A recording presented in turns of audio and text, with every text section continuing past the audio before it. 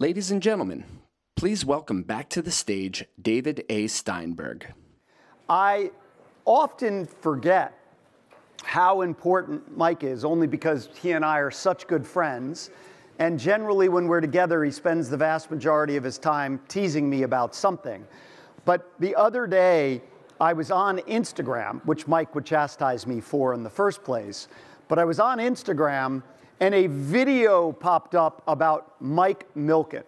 And literally, this video talked about how Mike had changed the entire financing world went on to become one of the world's most important philanthropists, and is truly, when people ask me who is the smartest person I know, I always say there are two people.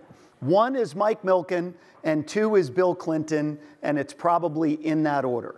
So when you sit down with Mike, which I'm about to do, we were on a Zoom the other day talking about what we were going to chat about. And with Mike, a lot of what we talk about is dependent on his mood in that moment. So, in that moment, Mike was on a massive kick about the global shift in population change and how that is going to affect business. Literally, over the next 25 years, we're going to see shifts in global population change. We're going to see the US, which has primarily been made up of people of European descent, shifting to the descent of other places. And we're going to see demographics in this country and the world change radically over the next years. First, Mike, welcome. Thank you for being here. Well, it's great. You know, when, when I heard they were introducing David A. Steinberg instead of Steinberg, I'm going to try to be at the top of my game here, David. Well, Mike, as you know, Steinberg is like Smith for Jews. So if I don't put the A, I get bunched in with a, a, lot of other David Steinbergs. They've now started teasing me. They put in a presentation the other day, David A.I. Steinberg. And I missed it. Like I didn't see it, and they just went through the whole presentation. Well, but that's what I thought the A stood for, David. You were well ahead of your time. Well, you know, we, as you know, a lot of people have been talking about AI for seven to 10 months. I've been talking about it with you for seven to 10 years. But when you think about global population shifts and the declining population across the world, let's first give a bit of an overview to the audience about what that looks like in your, from your lens. I think the overriding view, David, is to really have two factors. One, betting on technology and what it's been able to do, and if you said to me, what was the hardest industry I ever had to finance? It was the mobile phone business. People didn't believe in it. And so when we think you could have got New York City and applied the application $10,000 for. And so data storage, one billionth of the cost early in my career. Uh, the ability to have eight or nine billion phones on the planet and so betting on technology, most of the most valuable for-profit companies in the world have bet on this interconnectivity and technology. The second area I would say as I reflect on the last 50 or 60 years is that people are focused on what was or what is for the most part, not where we're going. And so the demographic changes the number of children born in China has dropped by 60%, Mike, even what? though the population has increased dramatically. And I don't think people fully reflect these dramatic changes as education levels of women have increased, as wealth has increased, and health benefits have increased. Uh, the number of children being born in a more developed part of the world is dropping. And so I don't think people have fully realized who your customer might be next year, the year after, et cetera, and reflected on. And that was really the basis for our conversation the other day.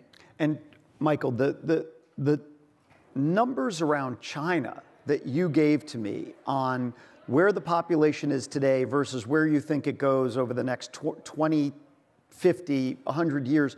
What do you think happens there from a numbers perspective?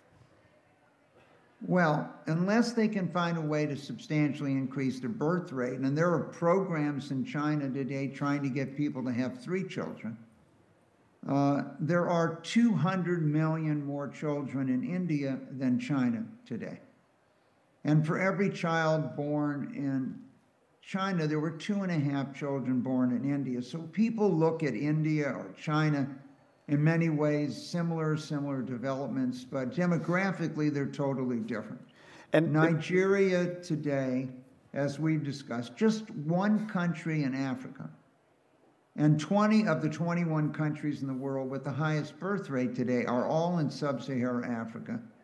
But there are one in 125 children born in Nigeria for every child born in Western or Eastern Europe, from Ireland to Russia. And for every child born in Latin America, 100, there's 125 born in Nigeria. And for every child born in the United States, every 100 kids in the United States, there's more than 200 born in Nigeria. So looking at where the world is headed, and then demographically, as you know, and I'm sure all the audience knows, the vast majority of everyone that was not born in the United States 85% had come from Europe or Canada. You're, Mike, Today, you're jumping. There's you're more jumping. People you're jump- in the United States that were born in a Africa than born in Europe. Let's, so let's step back changes. for one, Mike. Let's step back for one second because I want to get to that next. I think that's a great point when we transition from global to U.S. But to stay global for a second, right? So the numbers in Africa, sub-Saharan Africa in particular, are staggering. When you put those numbers together with the 8 billion plus phones on the planet, right? The people in sub Saharan Africa, and I've heard you talk about this multiple times, Milken Global conferences, so on and so forth, they have a window into the world. As you like to say, they can see when Kim Kardashian is getting on her jet, they can see what's going on.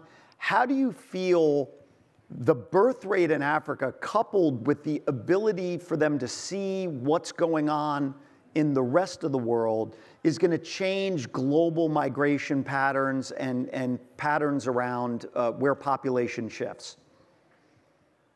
Well, um, that's why today there's more people that were born in Africa in the United States than Europe. If we have an increase of 2 billion people on this continent, where will they be 20, 30, 40, 50 years from now? At one point, there was 4% mobile penetration in sub-Saharan Africa. Today, there's 80. So you're going to be able to interact. And in Kenya, David, as you know, they started paying people on their phone. The first reaction was they got a 20 or 25 raise. Why? Because the manager or the foreman took a percentage of the money and then turned around and paid the workers. Now the workers got a direct payment digitally. So these parts of the world are not going to develop like we develop here. And so the question is, how are you going to get them product? What can they afford to pay? And when you see people trying to cross the Mediterranean for a better life for their children, in many ways in this country, we could think about the 50 million people that came from Europe in the 1800s, risking their life, no airplanes, risky travel, to come here for a better life for their family. And so I think we've underestimated the movement of people, and we have a significant change that's occurring from the northern hemisphere and the northern part of the world where in almost every single country, the birth rate is well below replacement today, and where the growth of offsetting population and new projections now show that the entire world's population might be peaking somewhere between 2050 and 2070. So in Japan, you have almost two people die for everyone that's born every year. So as you think about this, and the last point I would say in demographics is the aging of the world's population. And Mike, so there'll this be is more people over 65 in China than live in the United States. And just to switch topics there, because when people talk to me about the evolution of technology, right? So you could talk about the, the beginning with the Gutenberg printing press. You can get to the, you know, the telegraph, telephone, internet, first, you know, first computer, then internet.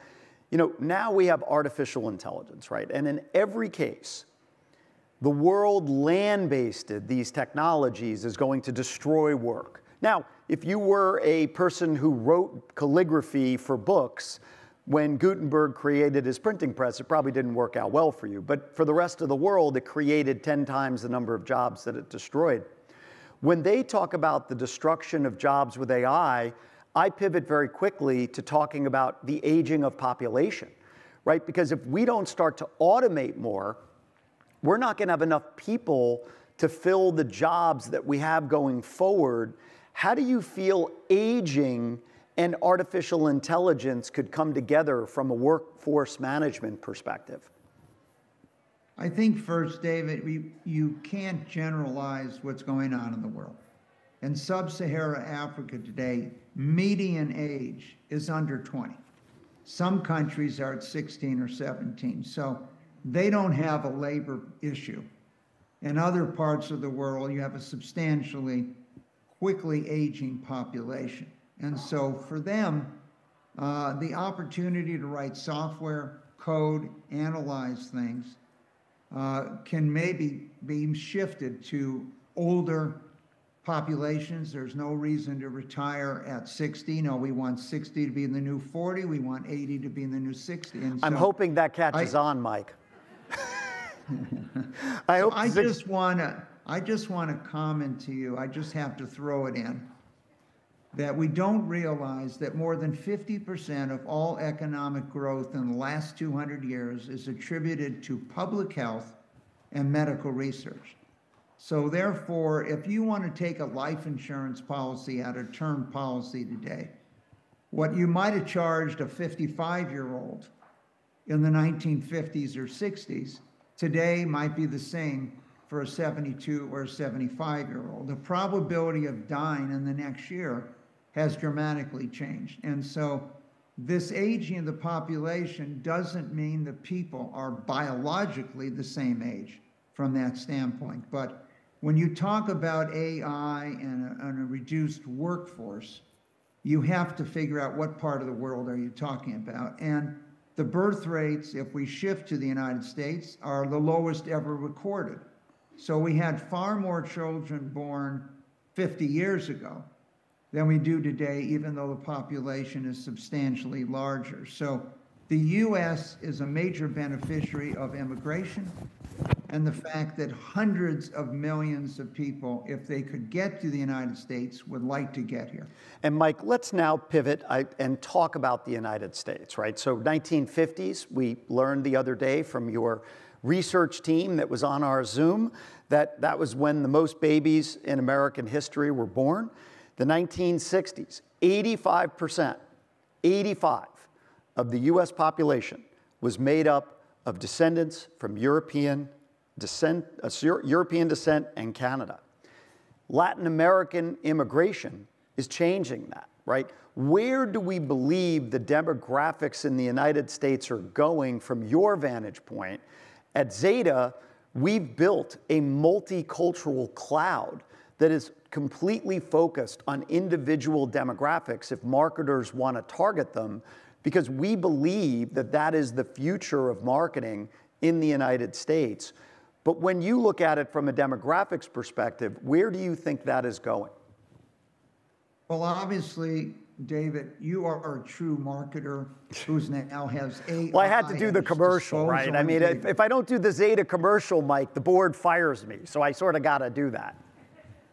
So um, I think in the 1980s, I began to focus on financing every Latin American business I could in the United States.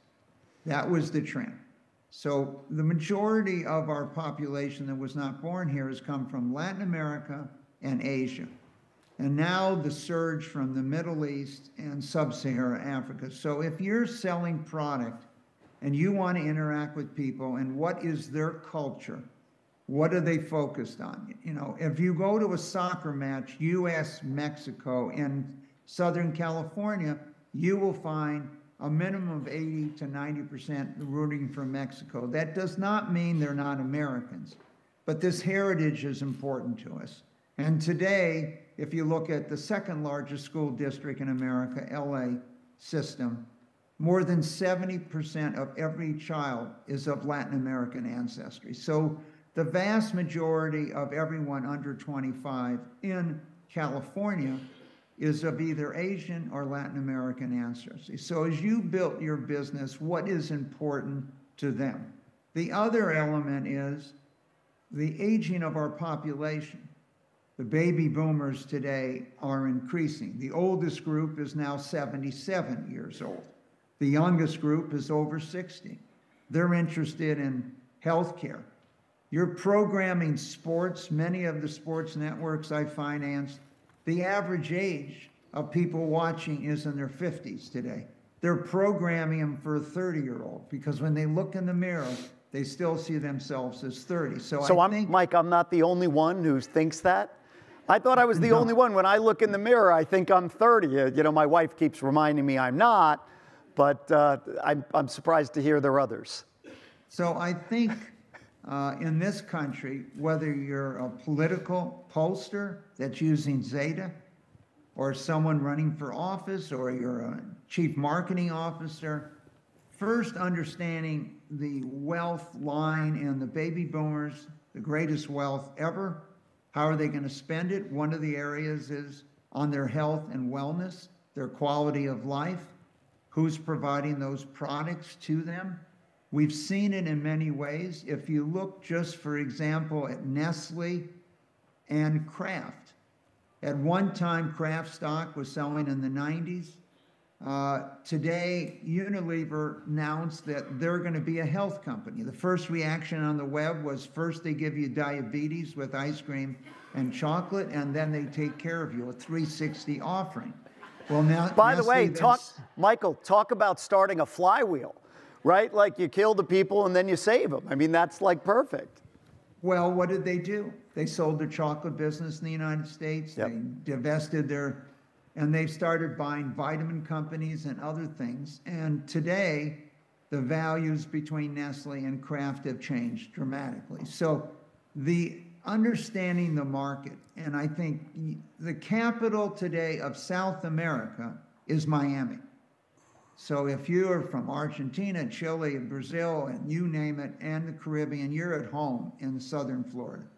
The capital of Central America is Southern California.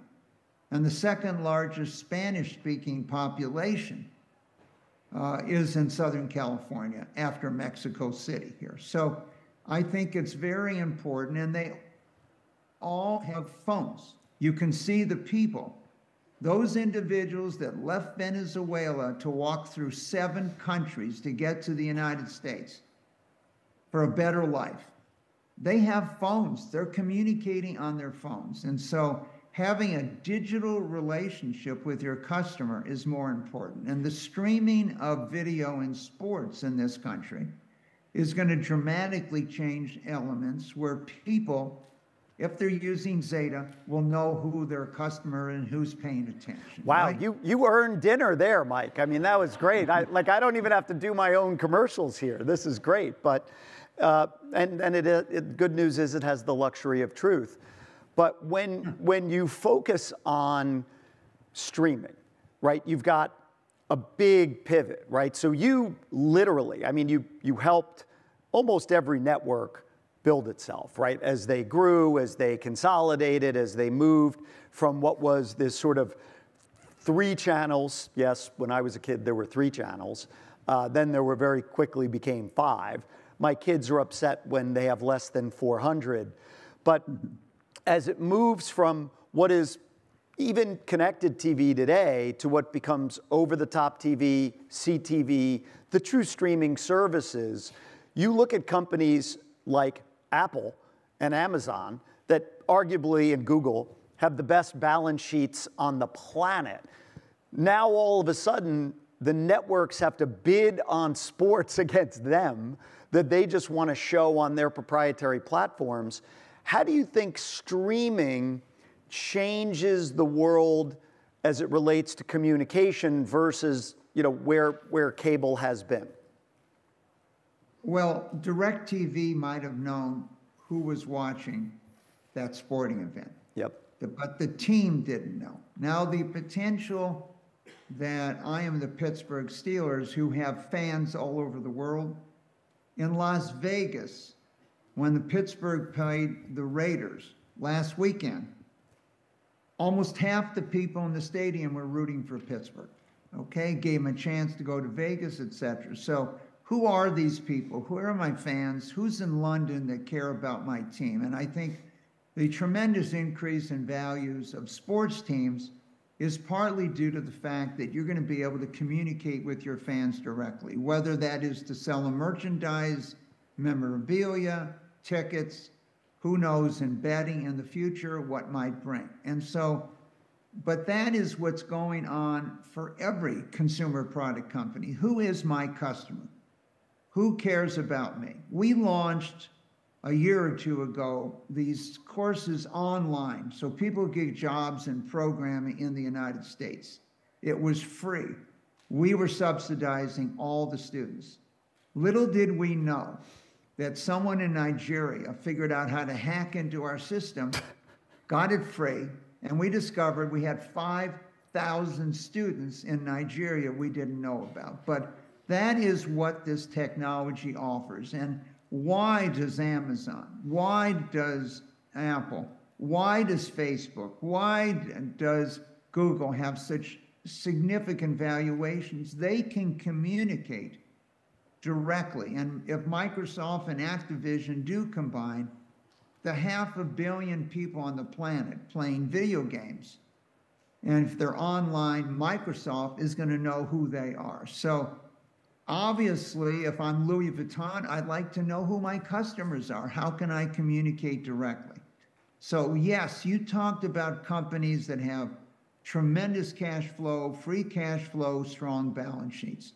But what does technology and AI allow me to do? It allows me with a small company today to figure out who could be my customers. When Terminator 1, the first Terminator movie was released, they used silicon graphics machines. It cost $4 million. You can now morph on your cell phone. So, therefore, the cost of accessing and the cost of using AI I was at a baseball game as I travel around to raise money for cancer research this last June. And a young AI company, a friend of mine, joined me. He recorded my voice in the booth over a 10 minute period on radio and television. And before I got back to see him, he had replaced my book online, my Faster Cures book, that we had a friend of mine, Grant, read with my voice. Small company, low budgets, in five or 10 minutes, completely delivered a new product to the marketplace. So, all I'm saying is AI, yes, it's going to be powerful for Apple and many in the world that have built these things. But going into business, a small company with ideas and a product today, 8 billion people on the planet maybe can hear your ideas, listen to you, see it, and you might be able to figure out who they are and what they're interested in. So, dramatic changes and leveling, in my opinion, of the playing field. How, and, and just to pivot one more time, how do you think AI will help the planet from a sustainability perspective, right? Because listen, you can't have a talk without AI, right? Literally, you just can't. Like I, I'm sure we'll do. We have we have 80 plus speakers today, including Zeta people. I'm sure every single topic will have AI in it, right? But most of us are thinking about utilizing it for better marketing or better business intelligence or better outcomes as it relates to organizational operations. When you think about it, if you put your sustainability hat on, right, and of course at the Milken Institute, uh, your most important project is the Milken Center for the American Dream. Then I know you're doing a few little things in the cancer space, you know, very, very small, obviously, you know, huge. Uh, but sustainability is an important component of what you're thinking about at the think tank. how do you think AI affects that? Well, it affects dramatic changes in what we do. Can we analyze our usage of electricity? Is there a more effective way? As we move to electric cars, the people working for us, is, it, is there different times of the day? The altering of use of electrical power, where there's different costs based on what time in the day it is. Next, what are the admissions? What is occurring? So once you have this data, and once again, I'd like to just revert, David, to the concept of health and medical research being the major driver but the concept of healthy planet, healthy humans. So we, over the last few years, had a competition, a prize. Can you double or triple agricultural output in sub-Saharan Africa? So we put up a prize. A thousand companies from a hundred companies competed. We narrowed it to 25. They had a plant in 16. But we're using AI to monitor the amount of water use fertilizer use, what is the variation in temperature, what is the best time to plant, what is the optimum use of water, how can we regulate water. Running a vertical uh, farm today in an enclosed structure and you're recirculating the water, okay, and using artificial light you can use 99% of the land requirements go away. You have more throughput. You can measure the, the nutrients in food. So whether it's studying life-threatening diseases and the data, uh, today in using a $5,000 machine to do sequencing is million times faster than what a human being could have done 30 years ago. So a Mike, million times the productivity. So I see this analysis being done for you, the data at this time. But maybe many of the greatest applications will be in this healthy human, healthy planet area, analyzing maximum nutrients, using up the least amount of our forest and land for growing my more effective ways and monitoring that for both an aging population in the northern hemispheres. So Mike, just to summarize as we finish with one minute and 32 seconds left, when we think about marketing in the United States, we've got massively changing demographics. If you think of the evolution of marketing, right, which just, I mean, forget about going back to the Gutenberg printing press yet again, just think about the beginning of the Texaco TV show where you started to have soap operas. Most people don't realize soap operas were because Procter & Gamble sponsored it for Tide. It was soap. And you would go on. Today, targeted, know your customer, understanding the changing demographics in the United States, what is one final piece of advice you would give to marketers with the 52 seconds we have left?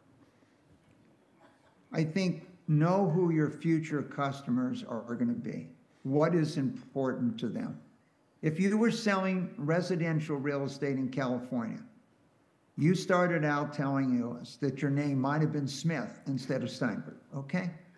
Well, if you didn't now know I'd be Sanchez. And, and you didn't know the Millers and you didn't know the Joneses, you wouldn't have been a successful seller. Yep. Of the top 10 surnames in California today that buy homes, Every single one is an Asian or a Latin American surname. There are no Smiths, Millers, or Joneses in the top 10. And so I think understanding how you're going to communicate with them, and in the developed world, understanding the needs of the wealthiest part of the population that's aging and what's important to them. Thank you, Michael. Quality of oh. life, length of life, travel, etc. So you need to change your focus based on what are the interests of the customer Michael, and of the individual. Oh, as usual, all brilliant uh, thought processes. I always appreciate your time and your friendship. Thank you for joining us today. I appreciate your friendship also, David. Thank you.